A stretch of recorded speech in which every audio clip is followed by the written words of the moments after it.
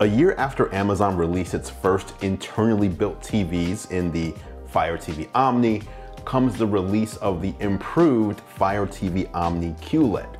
New this year are quantum dots for richer colors, full array local dimming for increased contrast, and an optical room sensor that enables an ambient experience. But is it enough of an improvement to upgrade from your current smart TV? That depends on how much you love Amazon services. I've been testing the 65 inch model and we'll leave a link in the description if you wanna check it out for yourself. Let's get started by talking about the picture quality. With last year's Fire TV Omni, I mentioned how impressed I was when it came to brightness and rich colors when compared to similarly priced competition, but I'm not as enthusiastic about the more expensive QLED model in this same area. In terms of brightness, you're getting a peak of about 575 nits, which to me just doesn't cut it at this price range. A lot of people will ask me, how bright do you need your TV to be? And the answer is that it's not about overall brightness. I don't need the entire TV set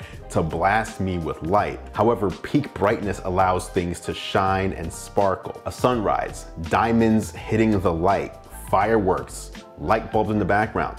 When these are in a scene, you want them to look accurate and the mixture of peak brightness and contrast is what makes this happen. When that firework pops off, just those pixels need to be lit brightly while the rest of the display stays at a normal brightness.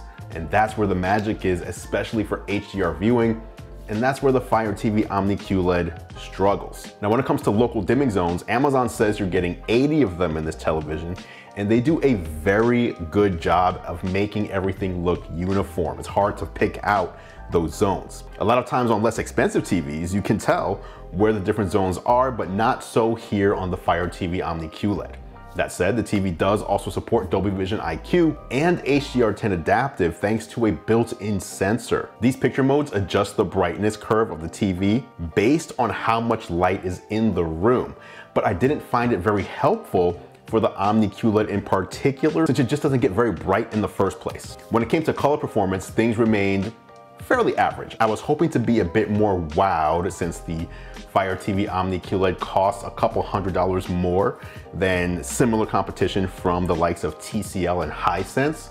But to be honest, I don't think picture quality is where you see the value for your money here on the Fire TV QLED model. Thankfully, the TV does have some other tricks up its sleeve. Moving on to audio. This is one area where the Fire TV Omni QLED actually punches above its weight class. Don't expect sound that will rival a dedicated surround setup or high-end soundbar, but it definitely sounds way better than I expected. TVs in just about any price range, cheap, expensive, they typically don't have fantastic sound, but in the Omni QLED's price category, the sound is normally pretty trash. So Amazon did a good job here at making the speakers sound good for the price. That said, similar to the less expensive Fire TV Omni, the QLED version supports the super cool Alexa Home Theater feature. What it allows you to do is pair Echo speaker devices to the TV wirelessly and use them as wireless surround sound speakers. You can pair two Amazon Echo or Echo Studio devices to the TV and get immersive audio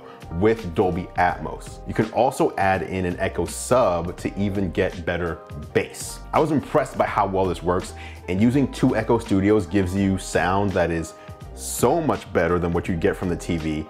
And since they're Amazon devices, they aren't even that expensive. Do that and you'll have a really great audio experience. When it comes to the design of the TV, the Omni QLED is available in just two sizes, 65 inches and 75 inches. That's it. So if you're looking for something smaller, you'll need to grab one of Amazon's non-QLED Omni models or look at a different brand entirely. It's been said by others that the Fire TV Omni QLED looks like the TCL 5 series from a hardware perspective, and once I heard that, I really can't unsee it. The feet style and placement, the metal backing and microphone slash sensor area at the bottom all match up. And by the way, those feet can only be placed near the edges of the TV. There's no way to put them more centered, which means you'll need a TV stand at least that wide to hold the TV. The power cable connects to a port on the left side of the TV's rear panel, and all the other ports are on the right side, including four HDMI ports, one of which supports eARC, a USB port, an Ethernet port that does not support gigabit Ethernet, but thankfully the TV supports Wi-Fi 6, optical audio output, a 3.5 millimeter headphone jack, and a 3.5 millimeter port for the included infrared blaster and an antenna slash cable connector. Next, let's talk about the smart TV functionality because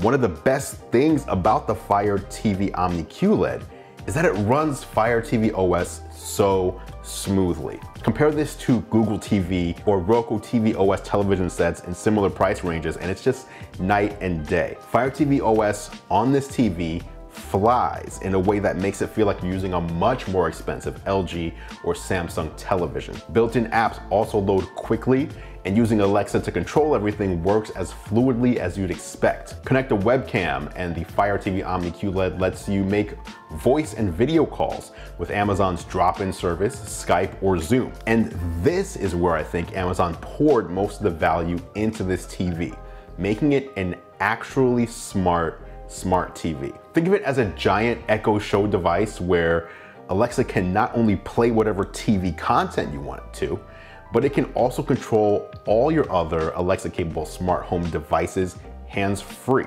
It also provides useful information like weather forecasts, sports scores, and your calendar ambiently on screen in helpful widgets when the TV isn't in use thanks to a built-in proximity sensor. That same sensor can automatically turn off the TV when no one's in the room, saving you power in the process. I think this ambient mode will be the biggest hit with buyers. Aside from the optional widgets, you can have it display your photos or other built-in artwork, making it into a great looking art piece in the room.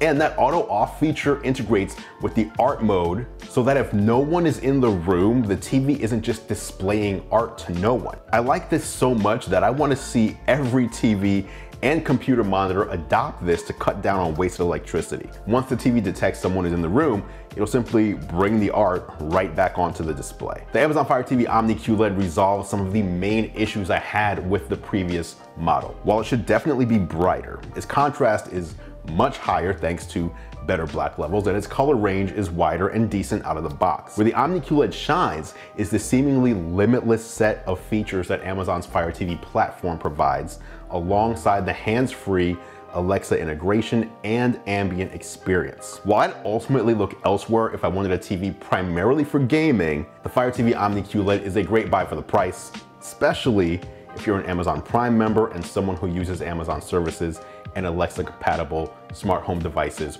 regularly. Those are my thoughts. Drop any questions down in the comments below. I'll meet you there for further discussion. Thanks for watching as always, guys. I appreciate your support.